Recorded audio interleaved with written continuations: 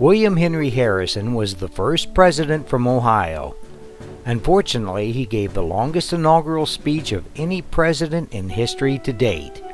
It was a cold, windy day. He caught a cold which developed into pneumonia and died one month later.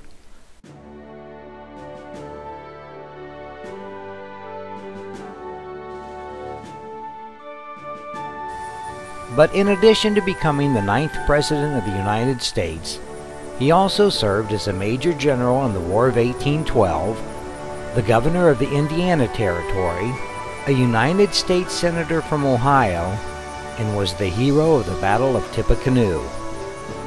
Harrison's tomb was built in 1841, but decades later it fell into a state of decay and ruin along with the adjoining cemetery.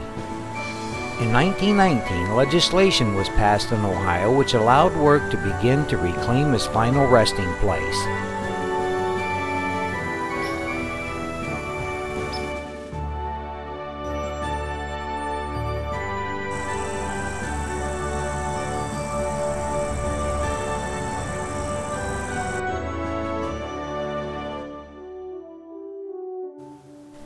The tomb itself consists of 24 vaults containing the bodies of President Harrison, his wife Anna, their son John Scott, as well as other members of the family.